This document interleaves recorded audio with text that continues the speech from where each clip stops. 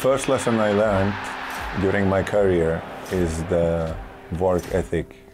I think everything goes down to work. You can have uh, as much as talent you want. You can have uh, so many opportunities from people around you, but if you if you don't work hard, if you are not prepared to take them, your career can take a completely wrong direction or, or will never kick off. So I would say everything goes down to work and the love for the game.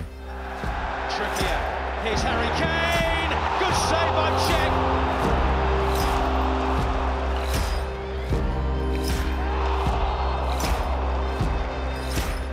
So second lesson I've, I've learned is that there is a need of overcoming adversity.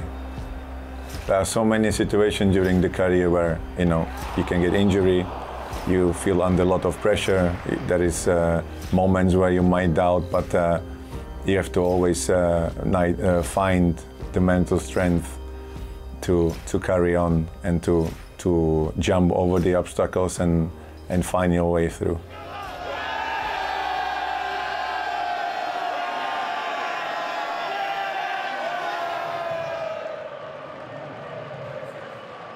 The third lesson I learned is humility.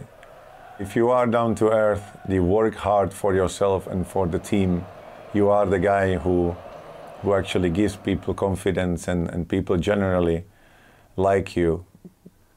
You know, it, it brings probably the most out of your, you and out of your teammates. And, and in the moment you need, a, you need a help, people will actually help you. I think sometimes we underestimate that, but uh, you need to, in, in the moments where your career is going great and everybody tells you how great you are, you need to, you know, keep your feet on the ground and actually keep working the same way, keep working with the same basics because this is the only way to be successful. And, and as I said, you know, the aim is to, uh, to have people around you who will actually, you know, believe in you and trust you.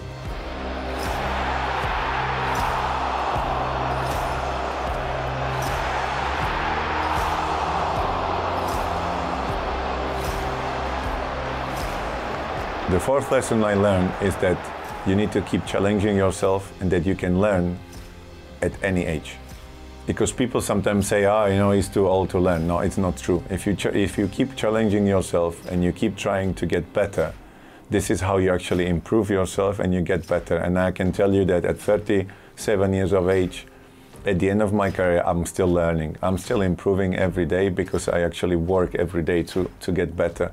And uh, I think this is the only way to, to have a successful career and actually make most of it because as, as best as you can be, you know, is actually the best advantage uh, to have a, or the, the best way to have a great career.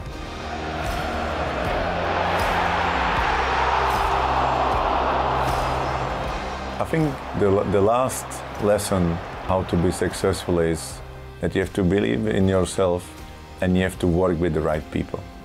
And you know there is so many people in football who can give you wrong advice, but you need to be strong and believe in yourself, in your way, and as well you need to choose the people wisely because uh, when once you make mistake with the wrong, uh, wrong judgment, your career can go wrong way. I was very fortunate actually that uh, people I, I chose to work with were very honest with me and we always find the best solution for my career and they supported me uh, ever since uh, I was uh, ready to sign the first professional contract and this includes the family as well because they are the most important on your journey.